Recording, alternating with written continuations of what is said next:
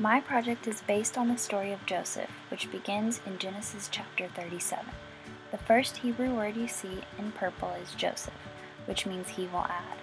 The second word in blue means coat of many colors, which is the gift Joseph received from his father, and the multicolored dots of this painting represent that gift. The next word means evil, which is a theme in this story shown by Joseph's brothers when they sold him into slavery.